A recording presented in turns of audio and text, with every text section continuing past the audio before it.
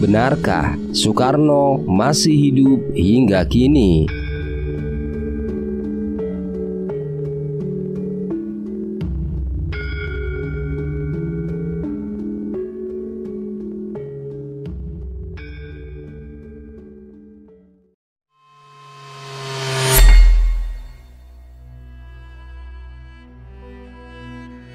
Banyak rumor mengatakan bahwa Presiden pertama Republik Indonesia, Bapak Soekarno, masih hidup. Orang pintar pun ada yang menyebutkan pada saat Soekarno akan dikubur, orang pintar melihat di dalam kuburannya adalah batang pisang, bukan jasad Soekarno. Mengenai penampakan sosok Insinyur Soekarno, bukan hanya terjadi di Rengas Dengklok saja. Di berbagai tempat lain di Indonesia, dari Jawa, Sumatera, Flores, hingga Kalimantan. Tidak sedikit juga orang yang mengatakan bahwa sesungguhnya Bung Karno masih hidup.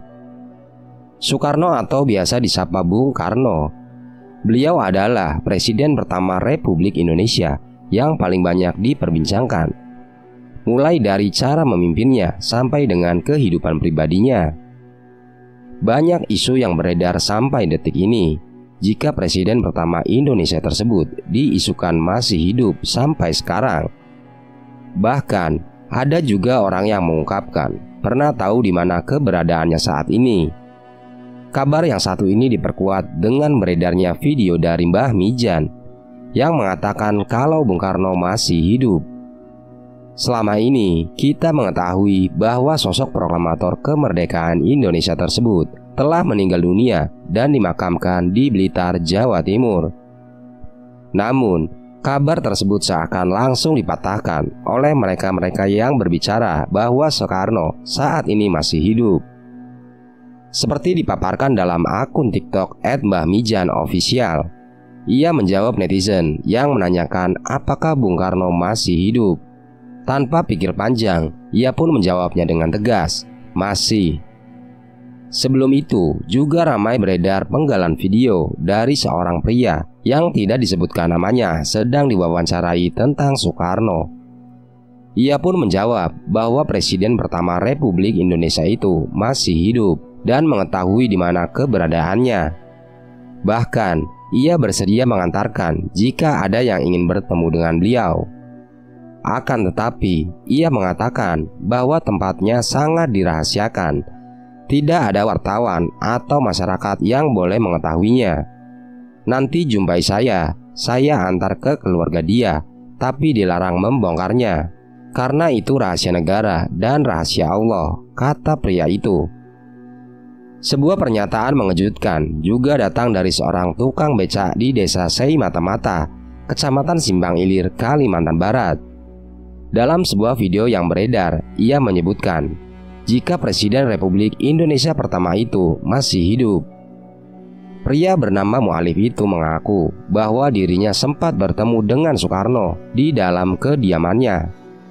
Ia pun mengatakan jika dirinya sempat berbincang bersama dengan bapak proklamator itu tentang aktivitas keseharian mereka masing-masing.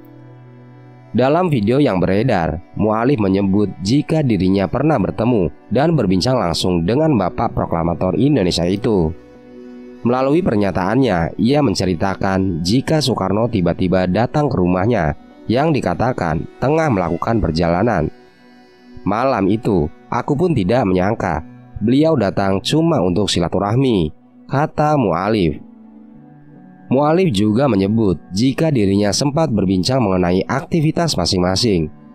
Belum ada perbincangan yang menjurus ke negara atau bangsa ini, apalagi urusan agama. Jadi cuma ngobrol biasa tentang aktivitas masing-masing, tambahnya.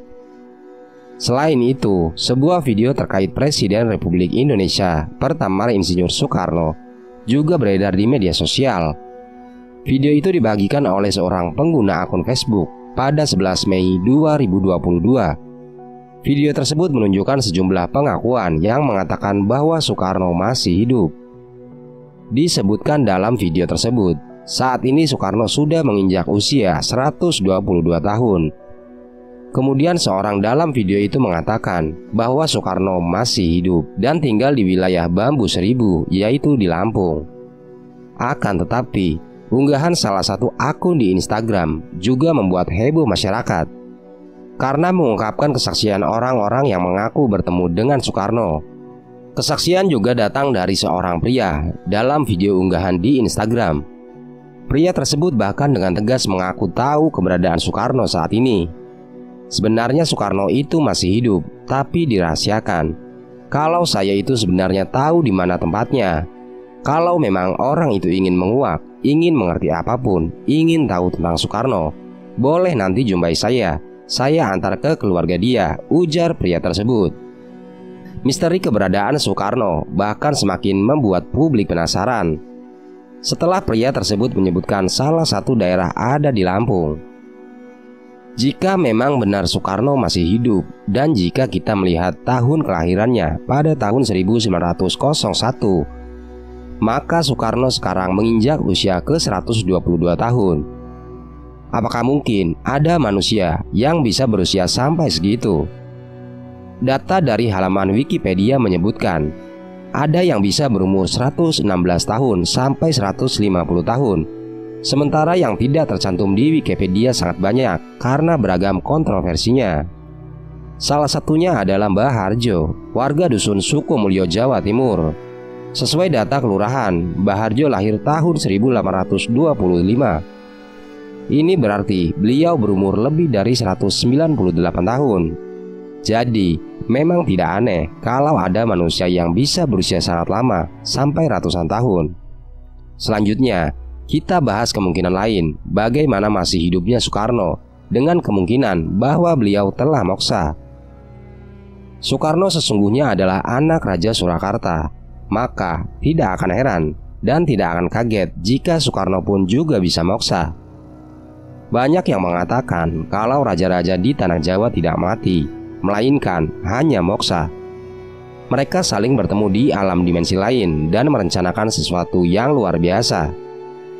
Moksa bukanlah mati, namun berpindah tempat. Hanya dengan izin Allah dan juga restu dari Soekarno, seseorang bisa bertemu dengan sang presiden pertama ini. Pada tahun 70-an, ada yang mengatakan bahwa kuburan Soekarno pernah dibongkar, namun jasad beliau tidak ada. Dalam agama Islam, istilah reinkarnasi memang tidak ada, tapi ada kisah yang menyebutkan kalau Nabi Isa akan diturunkan atau dihidupkan lagi di akhir zaman.